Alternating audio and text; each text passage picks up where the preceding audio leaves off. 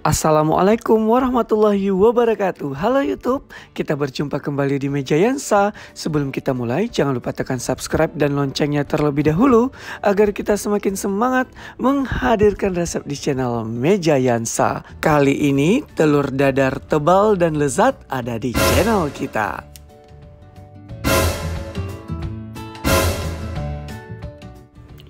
Siapkan 3 telur 5 siung bawang putih.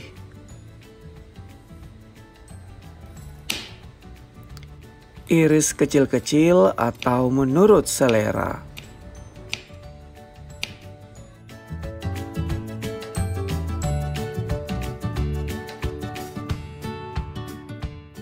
Satu batang wortel ukuran sedang.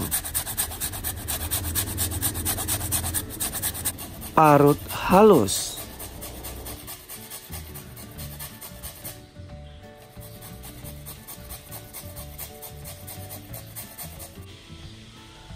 200 gram kubis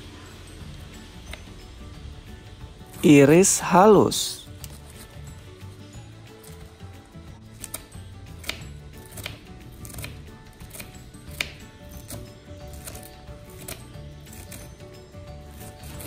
Dua ratus gram sawi hijau Iris halus hingga sayur habis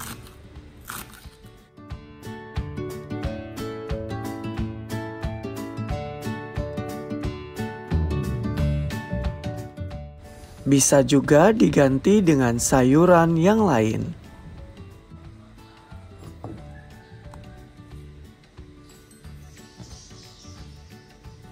Hidupkan api kompor menggunakan api sedang.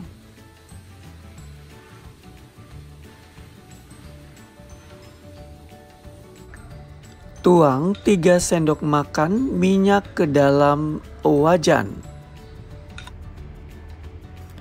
Apabila minyak telah panas, masukkan bawang putih. Setelah bawang mulai menguning, masukkan sayuran kubis dan wortel.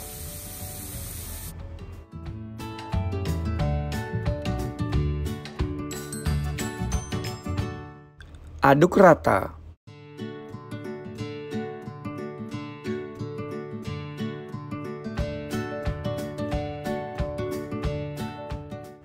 Setelah wortel dan kubis agak layu, masukkan irisan sawi hijau.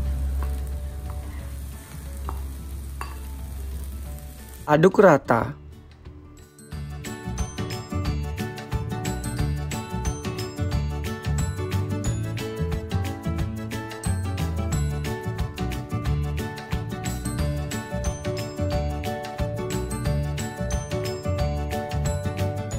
Lalu masukkan garam setengah sendok teh. Masukkan merica seperempat sendok teh.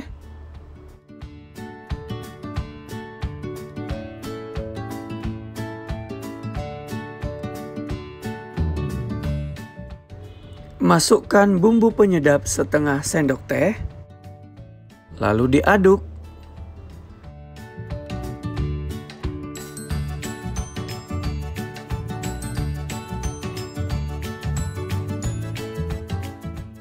Setelah sayuran semua mulai layu, angkat.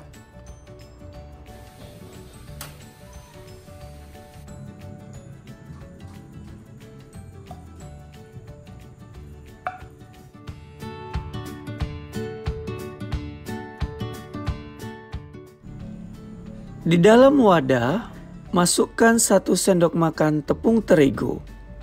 Aduk rata.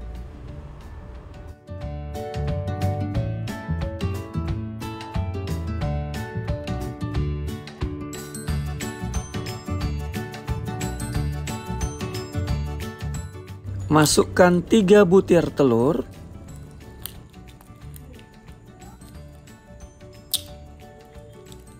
Aduk rata kembali.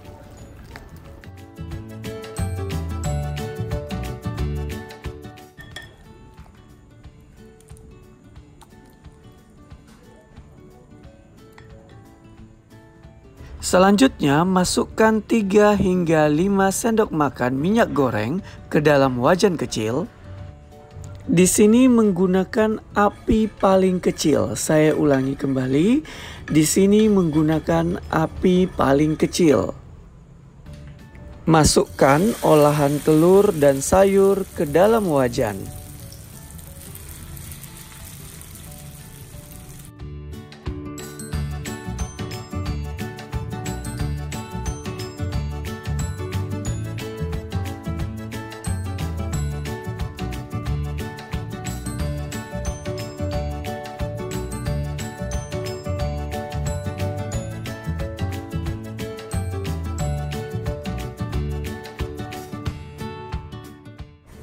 Tutup. Masak selama 4 menit. Setelah 4 menit, angkat dan siapkan wajan, tuang 1 hingga 2 sendok makan minyak goreng, lalu balikkan kurang lebih 3 menit